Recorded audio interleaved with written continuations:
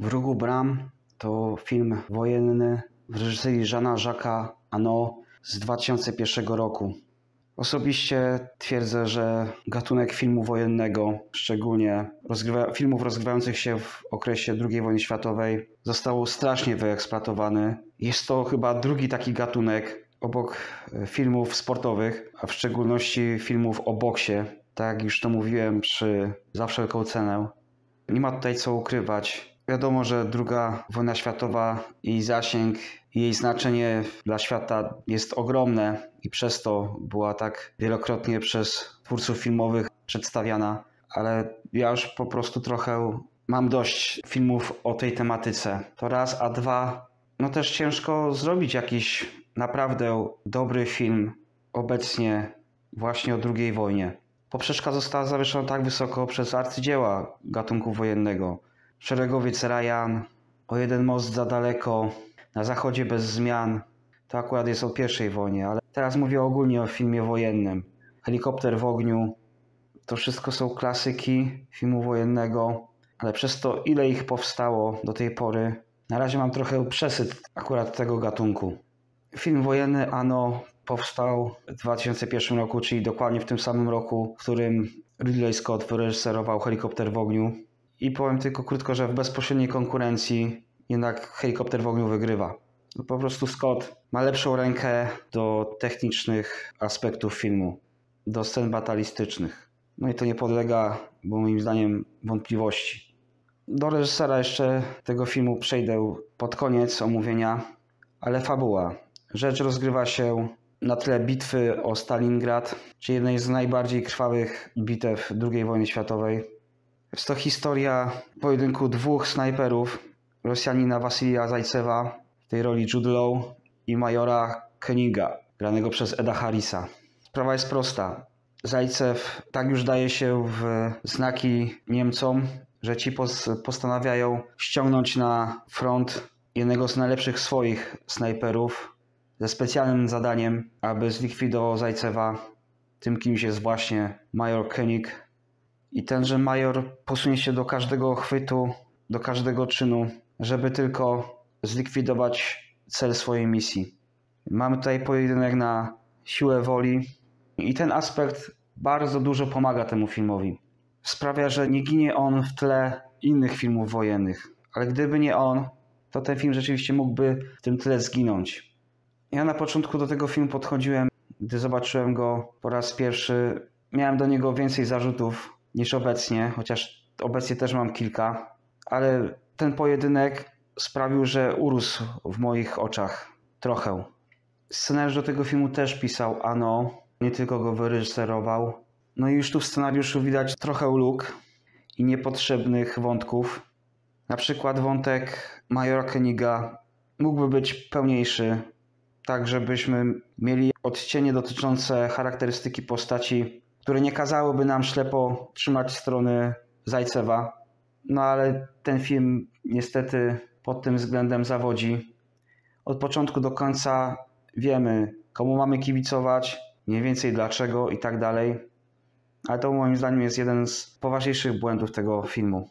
Koenig dostaje praktycznie tylko takie tło do swoich działań, że jego syn zginął w pierwszych dniach bitwy pod Stalingradem. To jakby nadawało mu już później całą motywację. To trochę mało, w mojej opinii. Zajcew zresztą wcale nie jest lepiej moim zdaniem umotywowany, chociaż on jest tutaj głównym bohaterem.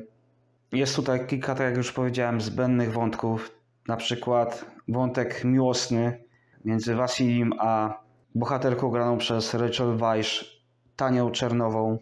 Naprawdę kompletnie zbędny, dla ogółu historii nie mający większego znaczenia. Spokojnie mogłoby go nie być. Do tego jeszcze dochodzi scena seksu tych dwóch postaci, która jest już w ogóle jakby wyjęta z innego filmu. Nie wiem, co reżyser chciał przez to powiedzieć o bohaterach. Pozostaje jego tajemnicą. Dla mnie kompletnie niepotrzebna scena. Na pierwszy rzut oka widać, że, ta, że ten wątek jest bardzo doklejony na siłę. Mamy tutaj też postać komisarza Daniłowa, granego przez Josepha Fainsa. No i tu też jest problem, bo na plakacie filmu mamy właśnie umieszczonego jego, czyli Daniłowa i Zajcewa granego przez Juda Law, a tak naprawdę Wolf jest czysto postacią drugoplanową. To już zdecydowanie bardziej pasowałby na plakat Ed Harris jako Major Kenning. W każdym razie moim zdaniem Wolf jest niewykorzystany, chyba że to miał być kontrapunkt do historii, do wątku miłosnego między Zajcewem a Czernową, bo Wolf wszystko wskazuje na to, że też kocha Tanię i jest o nią zazdrosny, ale jest przyjacielem Zajcewa, więc y, musi się pogodzić, że Tania kocha Zajcewa, a nie jego. Czyli jakbyśmy tu mieli trójkąt miłosny. Chociaż nie wybrzmiewa on nawet w 30%.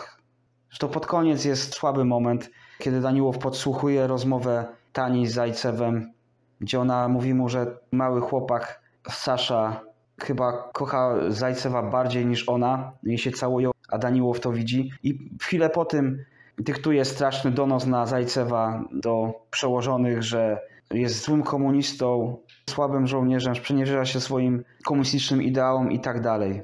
I z taką miną obrażoną na cały świat. To jest scena słaba. No, jest tutaj takich parę scen, a może nawet nie parę, tylko, tylko trochę więcej, które nie mają się nijak do ciężaru opisywanej historii i do tła, na której się ona rozgrywa. Nieraz jest tutaj pójście pod względem scenariusza na łatwiznę. Nie można tego chyba nie zauważyć.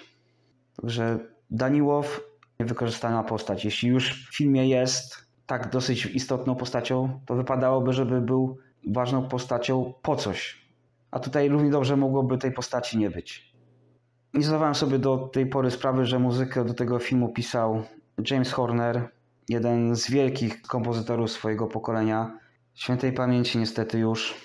Muzyka jest spoko, ok, ale Horner robił już zdecydowanie lepsze ścieżki w swojej karierze. Jeśli chodzi o grę aktorską, o rolę, przede wszystkim film ciągnie dwójka Jude Law i Ed Harris. Moim zdaniem bardziej Ed Harris, jako zimny niemiecki major, małomówny, ale skuteczny. Jude Law, tak jak powiedziałem, no jest obok Harrisa gwiazdą tego filmu. Ze swojej gry wiązuje się bez zarzutu. No robi po prostu swój normalny dzień w biurze pod względem gry aktorskiej.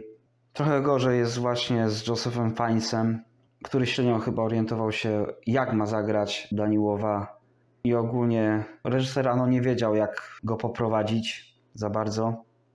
A z kolei Rachel Weisz jest tutaj, trochę mi się daje, że jednak wykorzystana jako postać kobieca, żeby dodać ją do głównego bohatera.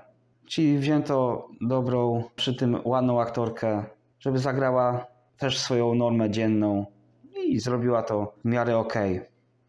Jacques Ano. Wróg u bram nawet nie jest blisko jego najlepszych filmów, a ten człowiek, nie powiem, zaimponował mi reżyserując Mię Róży. No, jeden z lepszych kryminałów, jakie w życiu widziałem. Z wielką rolą Shona Connerego. I też film Niedźwiadek, którego już sam tytuł mówi, że jest to film o misiu. I powiem wam, że to jest najlepszy film ze zwierzakiem w roli głównej, jaki widziałem na pewno. Nie wzruszyłem się na nim tak jak na filmie Mój przyjaciel Hachiko, bo tam to w ogóle inna kategoria, inna kategoria wzruszenia, ale Niedźwiadek to jest po prostu... O tym filmie zresztą na pewno na swoim kanale będę mówił, bo, bo jest tego absolutnie wart. Także te dwa filmy, reżyser tych dwóch filmów udowadnia w nich, że do reżyserii ma smykałkę. Niekoniecznie do scenariuszy, ale do reżyserii jak najbardziej. I uważam Ano za jednego z najlepszych obecnie francuskich reżyserów. A na pewno jeśli chodzi o gatunkowych, bo raczej do takich bym na, na zaliczył Jeana Jacques'a Ano. Nie jest to bynajmniej François Ozon, który robi, artystyczne. No i mógłbym tutaj wymieniać następnych francuskich reżyserów kina artystycznego. To tyle w filmie Wrógu Bram. Do usłyszenia w następnym wideo. Na razie. Hej.